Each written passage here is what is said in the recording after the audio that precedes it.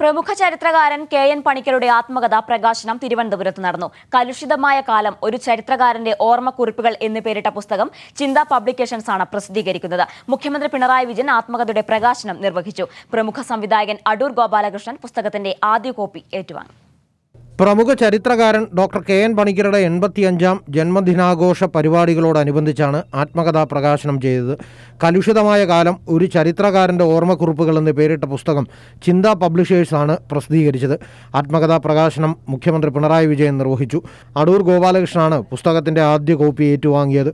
മതനിരപേക്ഷമായ സാംസ്കാരിക അന്തരീക്ഷം രൂപപ്പെടുത്താൻ ചരിത്രരചനയെ കെ എൻ പണിക്കർ ആയുധമാക്കിയതായി മുഖ്യമന്ത്രി ചൂണ്ടിക്കാട്ടി. ഡോക്ടർ കെ എൻ പണിക്കരെ പോലുള്ളവരുടെ ധീരമായ ഇടപെടലുകൾ കൂടുതലായി ഉണ്ടാകണമെന്ന് രാജ്യമാകെ ആഗ്രഹിക്കുന്ന കാലമാണിതെന്ന് മുഖ്യമന്ത്രി പുസ്തക പ്രകാശനം നിർവഹിച്ചുകൊണ്ട് പറഞ്ഞു.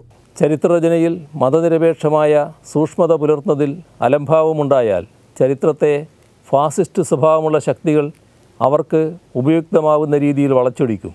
ഇന്നിപ്പോൾ എന്ത് ശാസ്ത്ര സാങ്കേതിക കണ്ടുപിടുത്തമുണ്ടായാലും അതെല്ലാം പണ്ട് പുരാണത്തിൽ പറഞ്ഞിട്ടുണ്ട് എന്ന് വാദിക്കുകയാണ് സംഘപരിവാർ ഇത്തരം ചരിത്ര വിദ്വംസർക്കെതിരെ മതനിരപേക്ഷമായ ചരിത്രരചനയുടെ പക്ഷത്ത് പോരാളിയെപ്പോലെ നിൽക്കുന്ന വ്യക്തിയാണ് doctor K N Panicker.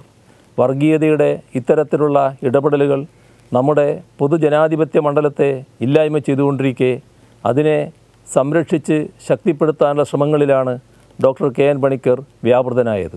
M A Baby അധ്യക്ഷത വഹിച്ച യോഗത്തിൽ Binoy Viswam M P C P Narayanan doctor Rajan Gurukkal professor V N Murali professor G Arunima V Karthikeyan Nair Vinod Vaishakhi J. Rajikumar M. A. Ajith Kumar എന്നിവർ പങ്കെടുത്തു. News bureau Thiruvananthapuram.